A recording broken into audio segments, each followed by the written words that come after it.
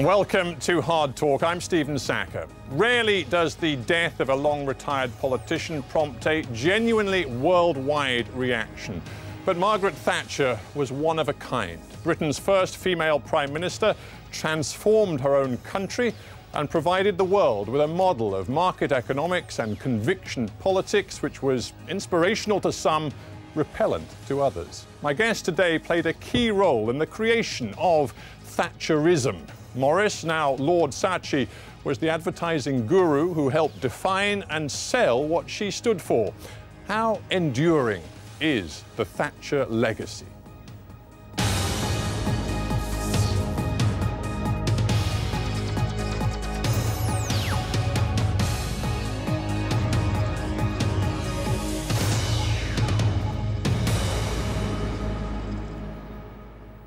Lord Saatchi, Maurice Saatchi, welcome to Hard Talk.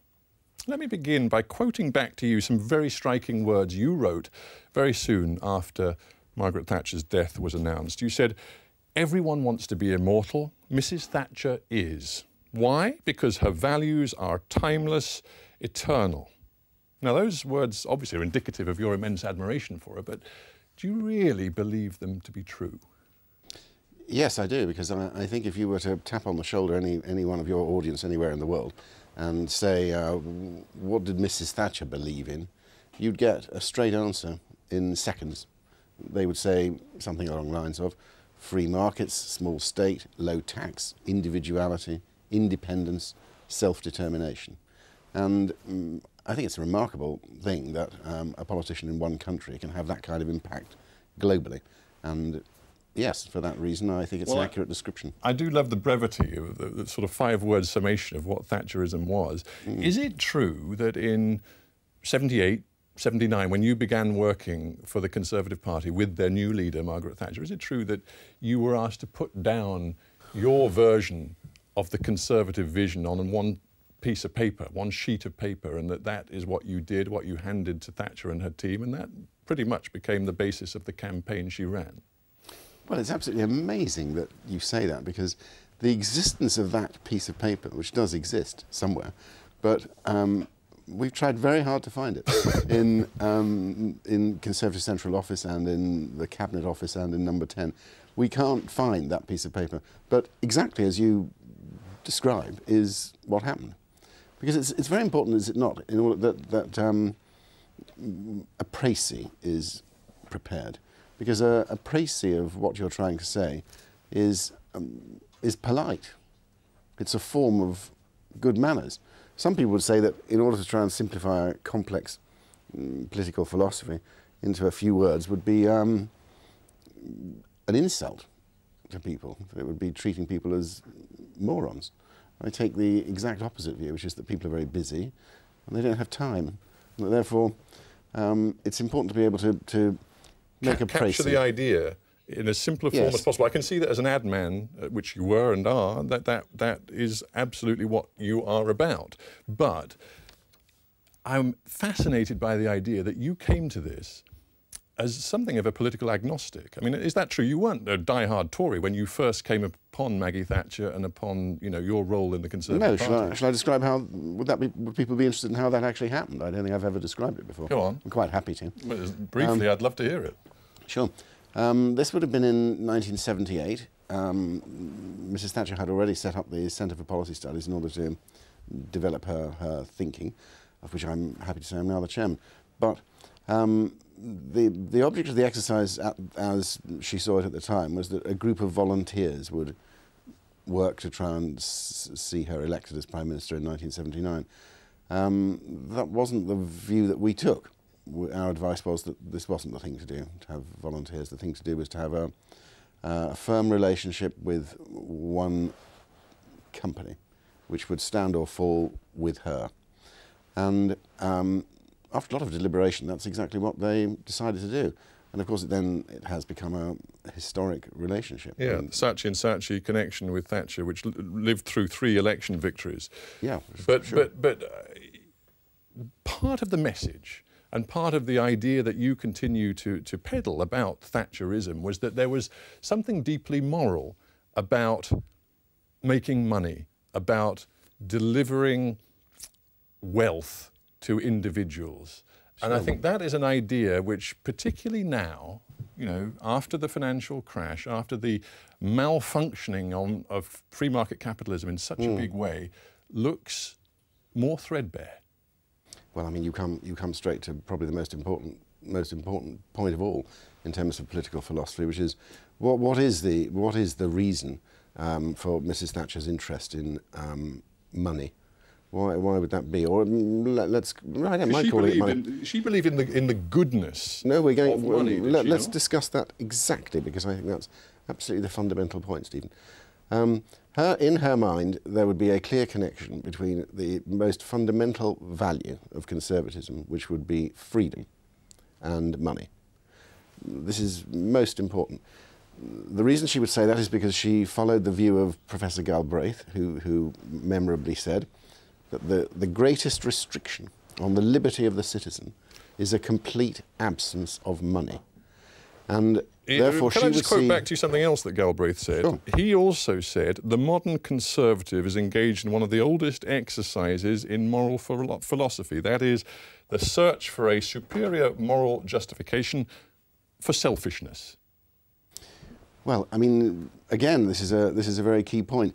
The, the reason why people have, have become distressed about free markets lately is that, of course, they can see that it, it can lead to greed and that the unpleasant consequences in terms of the gap between rich and poor and everything else that we've just seen. So there, there's absolutely no doubt that you're right, that there is a question mark over free market capitalism which hasn't existed before. Um, but Mrs. Thatcher herself would understand that completely. She would, she would see the, the merit of a free market in this way. It was best described by, in the sense that she would follow completely, by Professor Lionel Robbins at LSE. He, he said that the, the merit of a free market lay in competition. And he described it very simply. Every day, thousands of people cast their votes for the hundreds of products and services on offer. And from the competition to win their votes, better and better products and services emerge. That is the essence of what she believed in. So the concept, as you well know, is that individuals pursuing their own self-interest, their rational self-interest, will in the end bring about the best outcome for all. But, but she certainly believed that completely. Sec, what, what, and I know you've stayed in, in touch with her throughout her, her long life until very recently.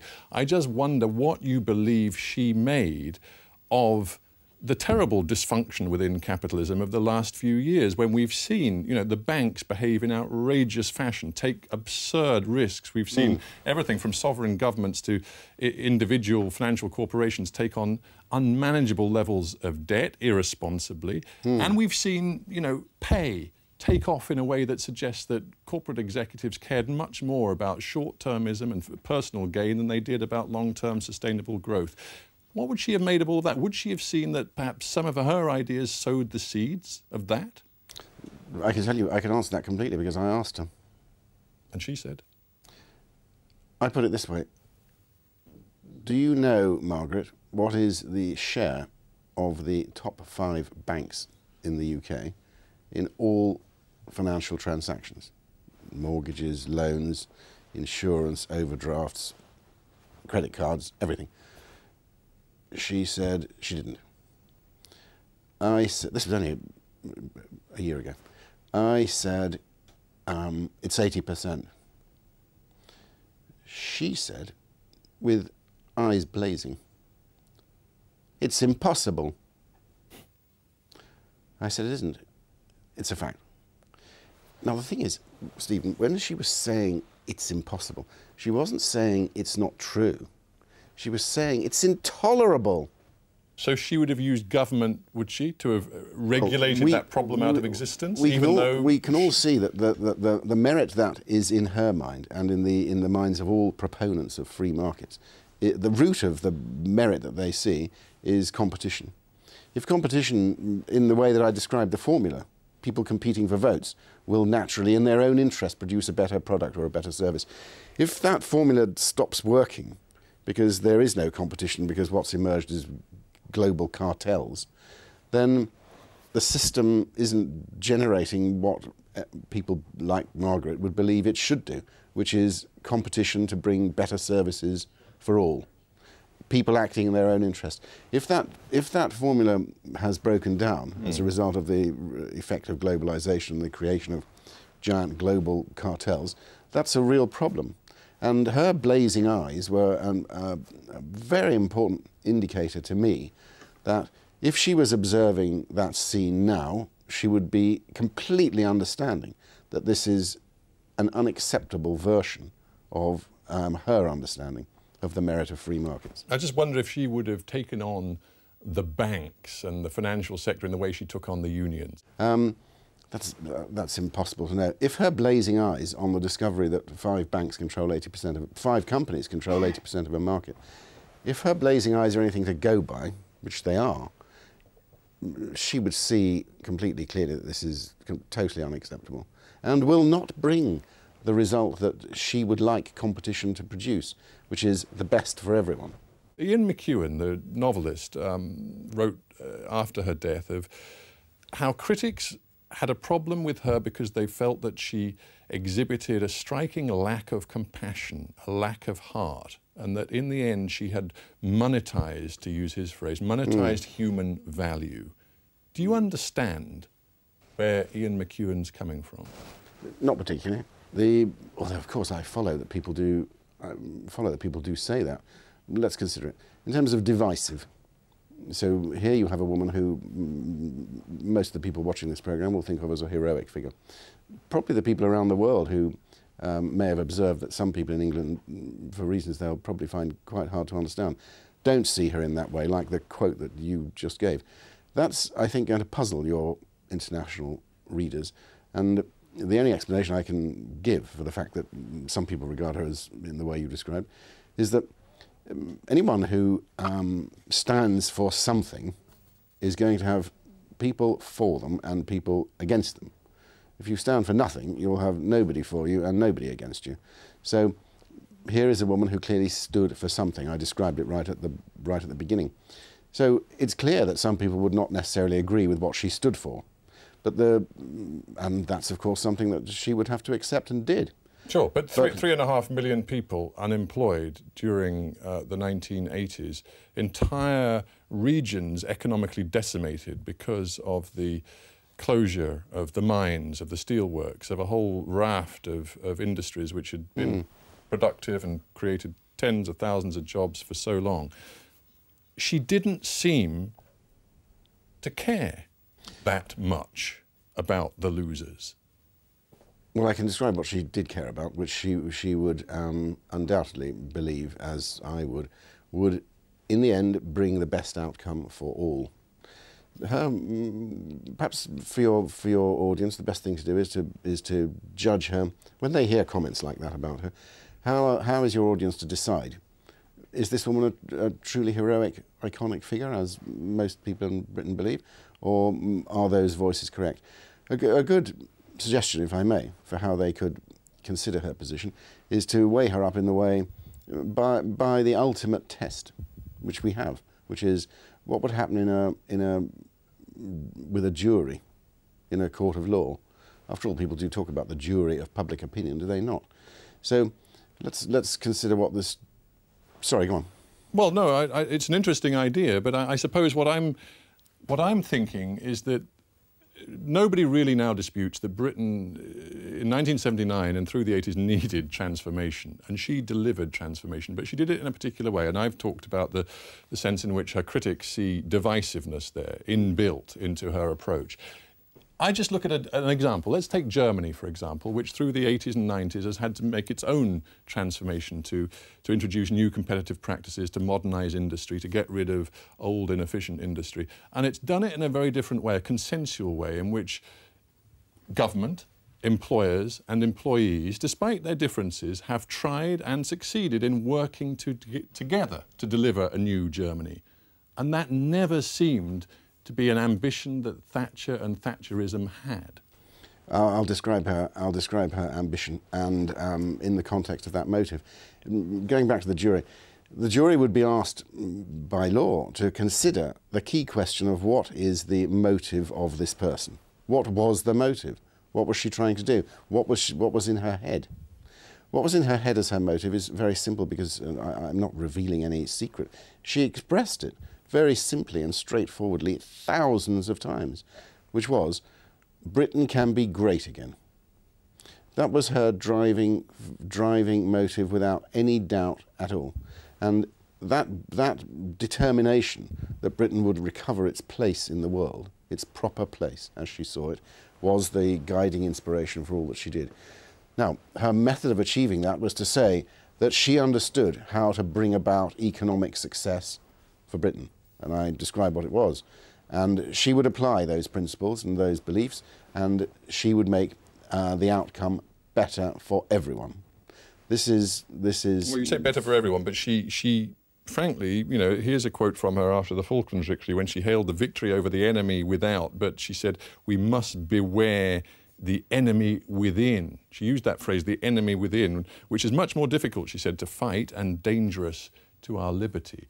It, it, that was the, the, the sort of either you're with me or you are an enemy mentality. The, but the thing, the thing to remember about her is that Margaret Thatcher is, a, is a, an anti-establishment figure. That's why it's ironic that people now, of course, see her, in, see her as a, a protector of the establishment. That's not at all what she thought she was doing, or did.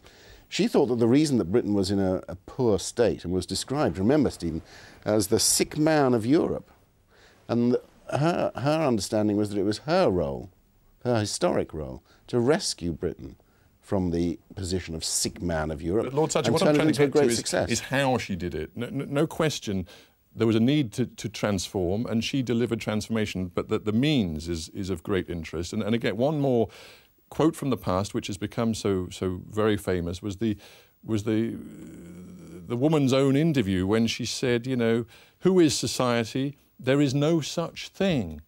There's just individual men and women and their families. No government can do anything except through people. People look to themselves first. Well, that's, that's absolutely correct. It's an correct. anti-collective notion, pure individualism. And I just wonder whether, again, today, with everything we know about the way the world works today, whether that is quite as timeless and eternal as you insist it is. Well, in individualism in the sense of liberty must be timeless and eternal. And the best example that I can give you is that the iconic policy that followed from the philosophy that I described, which had the individual at the heart of it, was the, which reflected that philosophy, was the sale of council houses to their tenants, which probably that one policy is the explanation for three Conservative election victories in a row.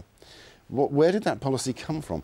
It didn't emerge from nowhere, as um, it is popularly now thought happens, that politicians would conduct research, find out what people want, and then make a list of the policies that would suit what people appear to want. That, that's not what happened. That's a reverse process to the way that Mrs. Thatcher thought. Her view was that I, ha I have my faith in individuals. What can I do to make individuals more powerful, more independent, less dependent? If they own their own home, they will be king of the castle. They probably will mow the lawn they probably will cut the hedge because they'll feel like king of the castle. And that's what she wanted people to be. If they, they could be the king of the castle, they could be their own boss, they could have power. They would not be dependent on anyone. Not their boss, not the state, nobody. They would have yes. power themselves.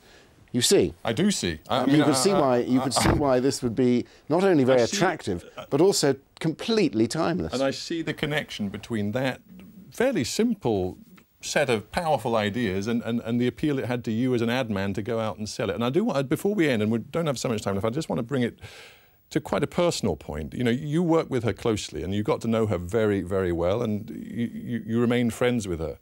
Um, one thing we haven't talked about is her gender. But the, the historian Dominic Sandbrook wrote the other day, he said, actually, you know, for all of the ideology, the power of the idea that came with Thatcher, what may be most lasting about her is the fact that she was the first woman prime minister in the United Kingdom.